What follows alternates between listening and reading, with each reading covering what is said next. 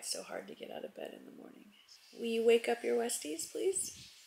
Let's start this day and get this vlog started.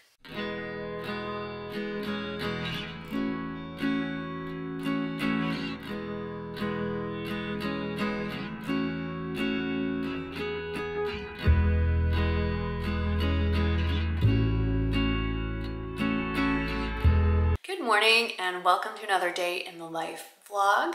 My vlogging style is a little bit different. I treat the camera as if it's you, a human being, hanging out with me all day long. So for the most part, it's gonna be me talking and showing things from my point of view if I can. I'm about to get ready for the day, start my morning skincare routine.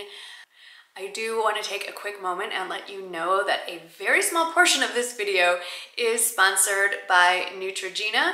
You will see what I'm talking about when we get to the very end of the post because it is something new I've been doing in my evening skincare routine for about a month or so, I guess. I'm losing track of time, but you will hear more about Neutrogena and the two products that I've been using, not on my face, but on my neck and chest and there is information down in the description box if you want to learn more about those products. But for now, let's start with the morning skincare routine. I'm not going to film that because it's not all that entertaining. Well, my day is not entertaining. I mean, I'm just going about my regular day.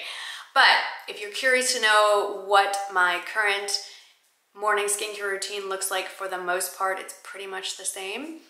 I will link that video that I did back in December up here and then down in the description box. All right, let's get this day officially started.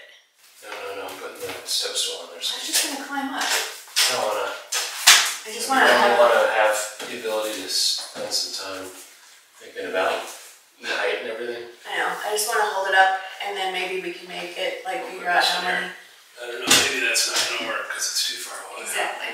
Is it too far away? It's too far away. So you can do this because you're capable. Do you think like right It's too there? high.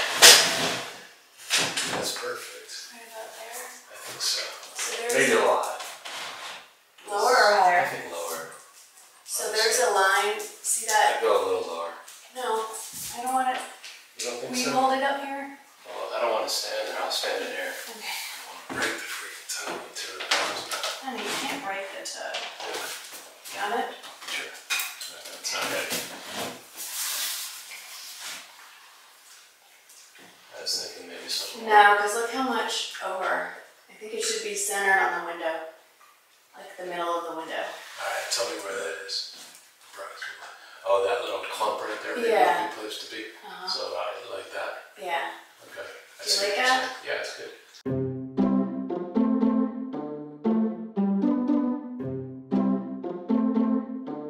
Is it too high? He's having a killie. I told you it was too high. I told you that it It was needed to be- supposed, well, we put it in the wrong spot. It was supposed to be lined up with the top of this. That's where I had it. I don't know how it ended up getting up there. Yeah, I don't think I like the. All right, just leave it for now, and then we'll do picture hanging later. So that was a total cluster. After all of that and climbing up and down, it's too high, and we don't think the Velcro strips are really attached. I think the canvas isn't perfectly flat. I think it might have a slight warp to it, and there's texture on the wall. So after all that, we're gonna just hang it with nails, but we're gonna deal with that later. I Have some other things to check off the box. I just added another phone call meeting with Gigi after my two Amazon Zoom calls today. So picture hanging may come later, and I think I'm gonna have to take pedicure off the list. It's it's not like an indulgence, like ooh, let's get a pedicure. I'm wearing open-toed shoes for the shoot next week, so I've got to get my toes done because I tried and it does not look good. But that'll be for tomorrow.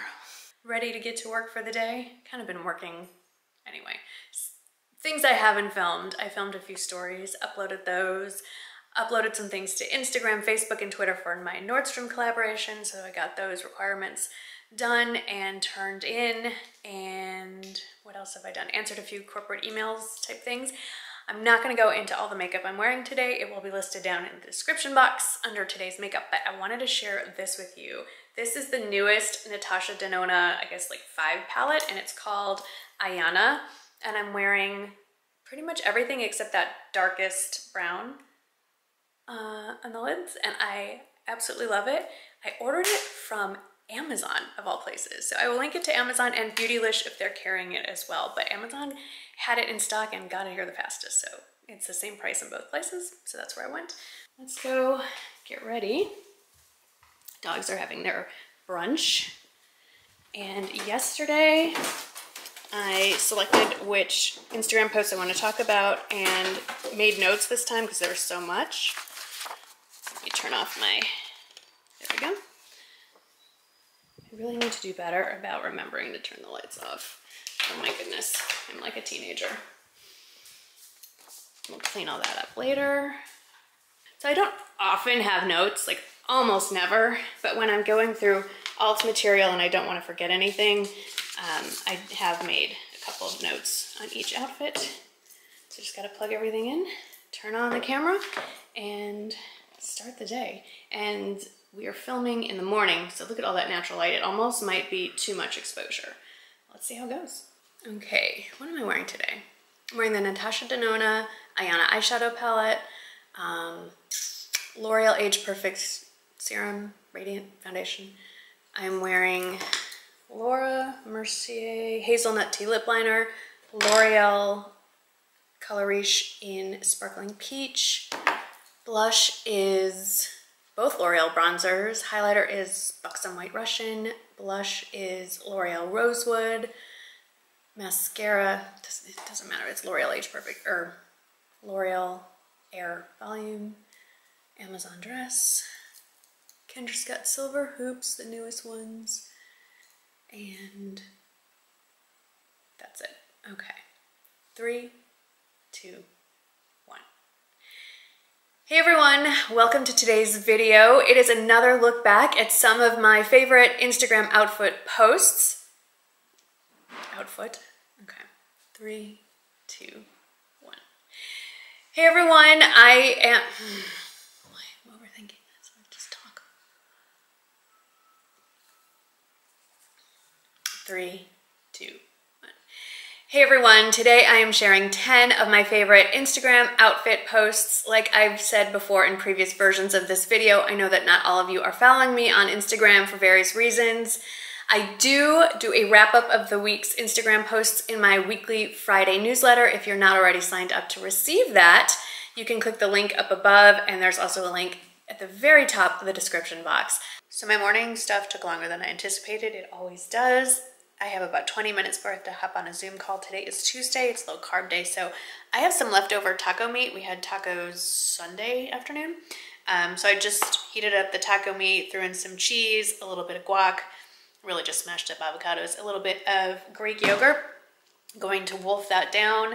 Um, more often than not, when I am eating, you ask me how I get all my reading in. So I'm just gonna sit here, read on my iPad. I need my lemonade and uh, just tune out for about 15 minutes before I have to step into my office and jump on some back-to-back -back Zoom calls.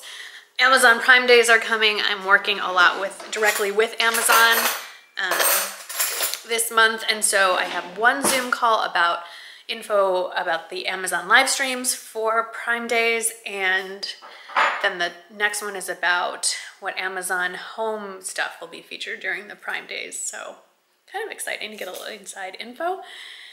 And I don't have to be on camera for that, but I do have to take notes and be focused. So that's why I'm eating lunch beforehand. Got my headphones in. Michael is in the dining room tutoring Shane on his current accounting homework because Shane has hit a wall. Michael hasn't taken accounting till since like 1992. So if you hear screaming in the background, it's the two of them going at it. Any accountants in the house? Anyway, uh, I shall be here taking notes for the next two hours. So I'll pop by when I'm done. Can't wait to share all this information with you. Just signed a non-disclosure agreement, so I can't until the 21st. Sorry. Okay, that first call was a little bit of a boondoggle. Does anybody, does this ever happen to anyone? You are invited to attend some sort of educational type thing, whether it's for your job or a hobby or what have you. And you're excited about it because you're hoping to pick up some new information, but 90% of the presentation is just going over basic stuff that anyone who's already doing or interested in that activity would know. That's basically what this last Amazon live call was. And then my home one got canceled because I didn't have the link. So I think I'm gonna go try and get that pedicure in. I also moved my four o'clock call to later in the week. So my afternoon just opened up. I'm gonna go get that pedicure knocked off. Just looking around, shoes would be good. And then and come home work on the newsletter for a few hours before I figure out what the heck we're having for dinner. What are good shoes to wear to a pedicure? I guess it doesn't matter because I'm getting shellac. Here's the current shoe sitch. Um, I need some more summery. I don't need, okay. I would like some more summery ones. There's some more slides. You know, I still love, these are my favorite. I'm wearing them, I don't care. These are from last year. I can't link them because Scoop has not re-released them, but these are from last year and they look really good with black and gray, I think, personally. So this is what I'm wearing. All right, let's go fix these toes.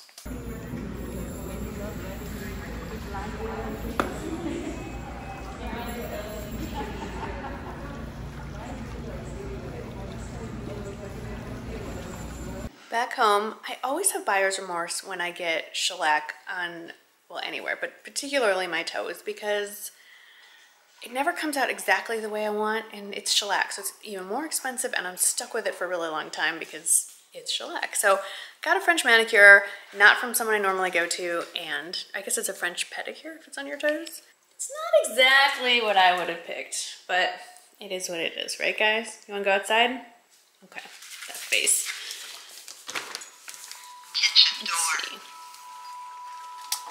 Sometimes this time of day there's birds on the hot tub and Rowdy likes to stalk them. See any birds? He's looking for the birds. That's why he's walking slowly. He's stalking.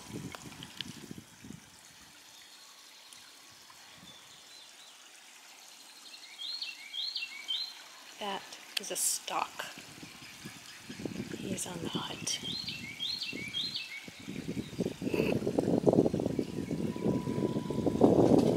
He's caught birds twice. I'm, I'm really, and now Mimi's like, ooh, what do you see? What do you see?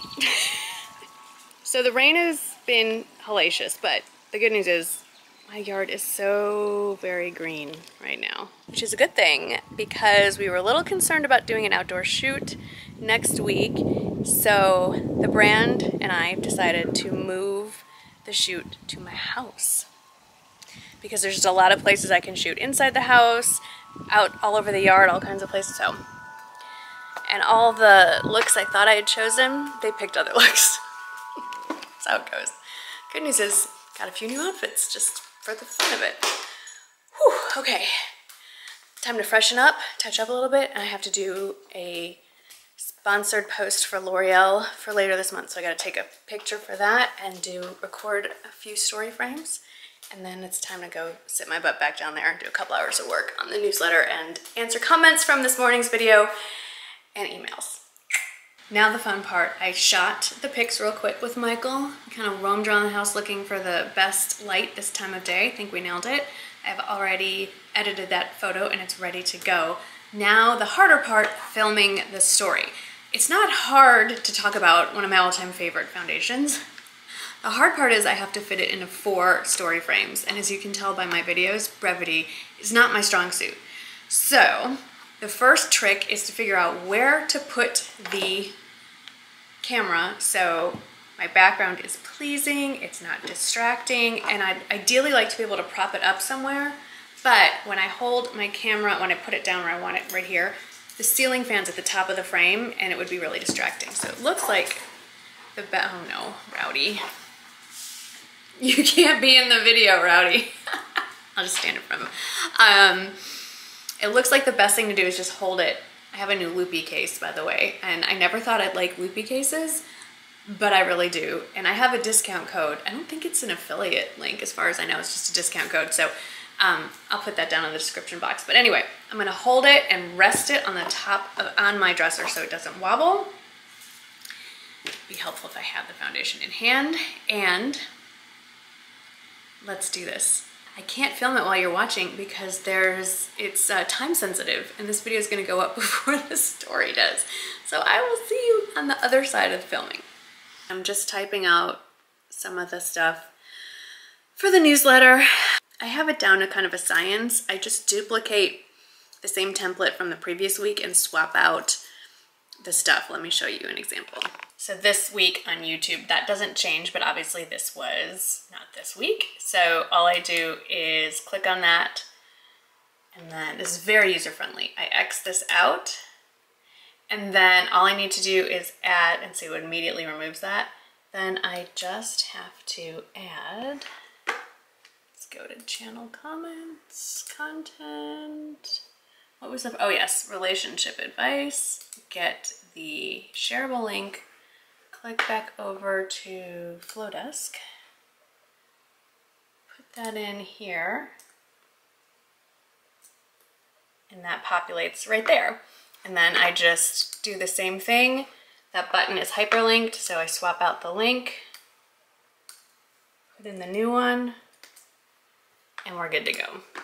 So obviously then I have to rewrite the little summary underneath it, but it's so I don't have to recreate the wheel.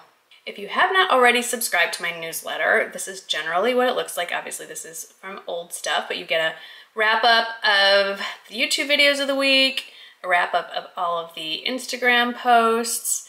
Um, now I have a whole section on Amazon since I'm doing live streaming and doing a lot of work with them, so it's just one more place to find me. Then I try to highlight at least one really good sale of the week, and then underneath that I'll list not every sale, but the ones that I think you would genuinely want to try out or check out, and then a recipe of the week, and I always end with the dog picture. Look at the faces. And you might not believe this, but if you hit that button, it'll take you right to my MsGoldgirl email and it goes right into my inbox. And I love hearing from y'all. So, all right, I'm gonna go swap out a few things that I already have done. And that way I only have to uh, get up at six o'clock in the morning on Friday and add the last video of the week because I can't add the link to the video till it actually goes live. So my Friday video will go live at 6 o'clock in the morning. So once that's live, like 6.15, I'll get up, put in the last few links, and then hit send. Not too late to sign up. One of the great joys of being an empty nester who doesn't have to make dinner for their family anymore and whose husband doesn't really care what we eat either is sometimes you can just make whatever. So, you know, it's a low carb day. I don't care. I am, where to go? I just, okay, there it is. I love these. If you're looking for something gluten-free and delicious, Feel Good Foods, chicken pot stickers. So very good. I think I actually just talked about these in my, my most recent videos. Um, this is the chicken version. They have vegetable and they have pork. I'm not a big pork fan in general, although I love prosciutto. I don't know what that is about, but anyway, um, I do not make these according to the directions. I defrost them for two minutes under a damp paper towel and then I fry them in a little vegetable oil on the skillet. So I'm gonna split this box with Michael, have some leftover salad, and then I think it'll be time to wash up and say goodnight. This is a real life vlog. I do not stage events to entertain you guys, so this is a pretty typical day, barring the pedicure. My life is not all that exciting, but it's a very content, happy life. I don't know that I would really want exciting. Kitchen door. All right. Come on, Mimi, you too? She's like, hell no, it's hot out. Memes? No? Okay. Oh, do you want to? And then he just stands there, like, what? You didn't really want to go out, did you? Well, what are you doing? No? Bird, get the bird. A lot of you would never see Wrigley because sometimes he is under our bed. We recently got a new coffee table, which was the other place he likes to hang out, but now that he can't hang out there, it's generally where you will find him. My little bear. That's my little corner. I like to bring my laptop, which I was just doing, and sit and do work right there.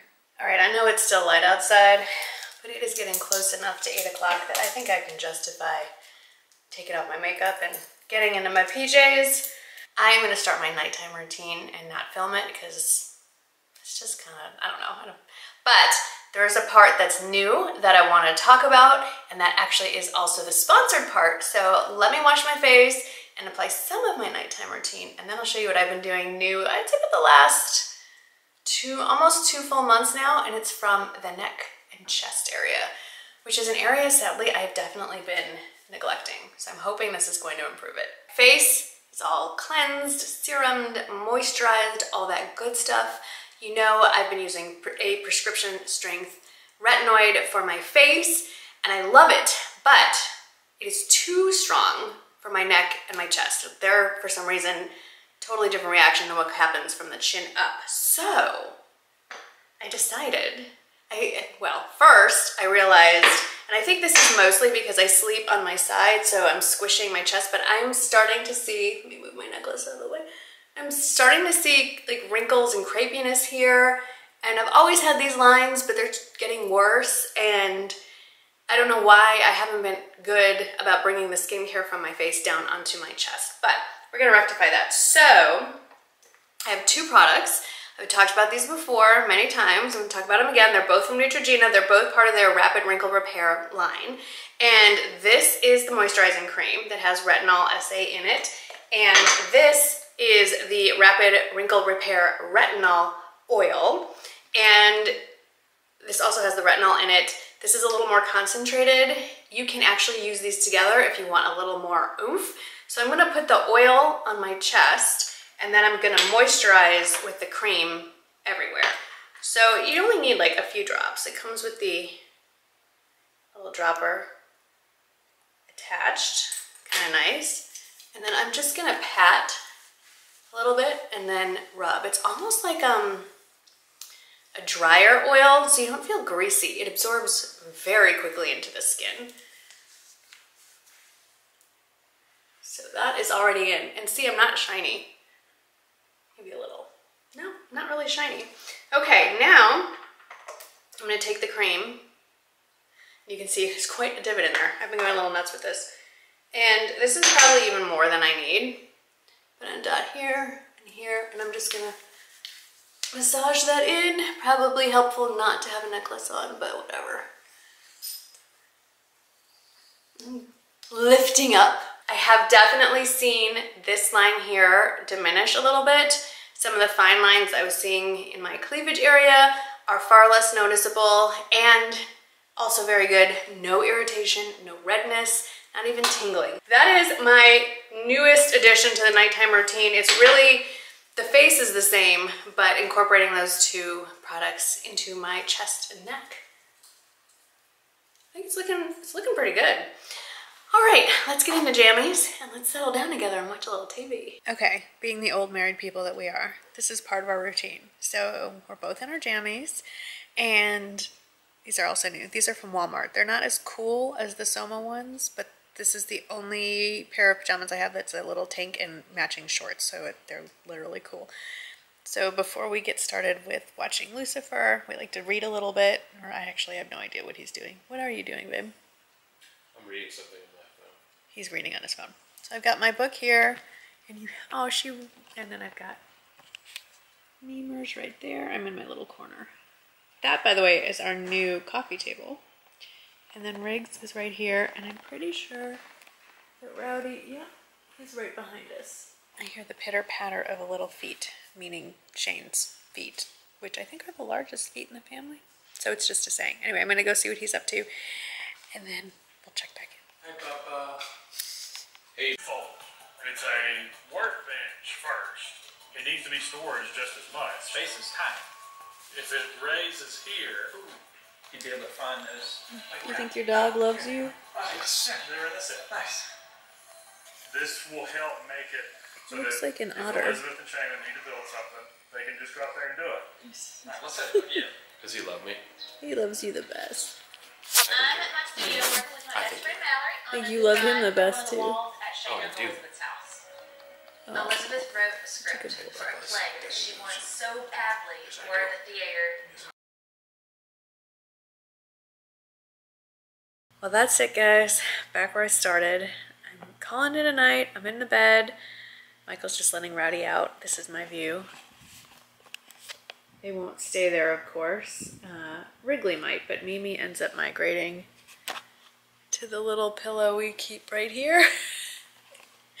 anyway, I hope you enjoyed spending the day with me. I wasn't particularly excited, but it's a pretty typical day in my life if you ever wonder what I do all day. Sometimes there's a little more house cleaning and a little bit more cooking, but this is pretty much how most days go. Thanks for hanging out with me today. Hope you had a wonderful time. Thank you so much for being here. I am so tired I don't even know what I'm saying, so I'm going to say goodnight. I'll see you in the next video.